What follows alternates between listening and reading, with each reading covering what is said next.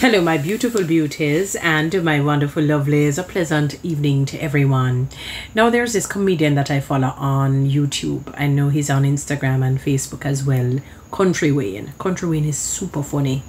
Trust me, people, he is hilarious, petty as ever. You know, his jokes are, you know, always have have to have the last words out of, you know, sort of a thing and trouble people and poke fun, but he speaks truth and he's not afraid to speak his mind, but very, very funny. And um, he seemed to have been busy because, you know, I haven't seen him in many of the places in recent times.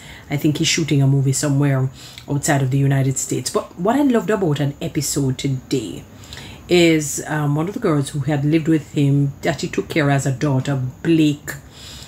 Um, she went as, you know, she went as a realtor, you know, to show, do a showing and another realtor was there. And when he saw her and her friend, her assistant, he began to be vitriolic and rancorous, like saying you look like prostitutes, how you dress like this, and he went on and on, which was disrespectful.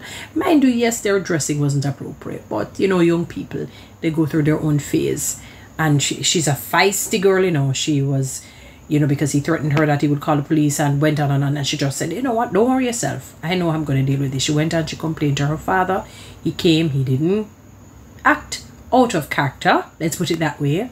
But the man, lo and behold, um, they contacted um, a company that she worked with.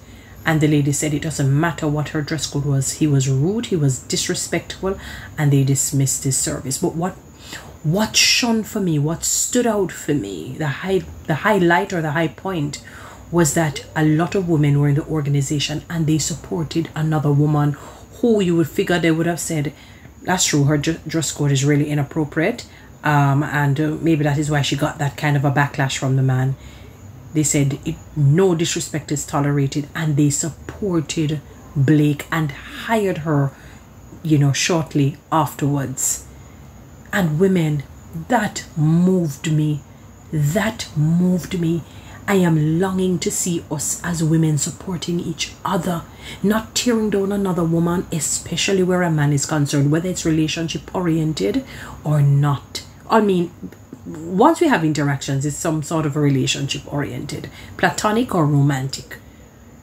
You know, the Bible says, we, I sum up the commandment in one that you love one another. Women, let us love on each other and treat each other with respect. They defended the woman, even though, yes, as I said, dress code was kind of not necessarily there, but you know, they supported her. So let's support each other as women. Follow me on TikTok, subscribe to my YouTube channel, and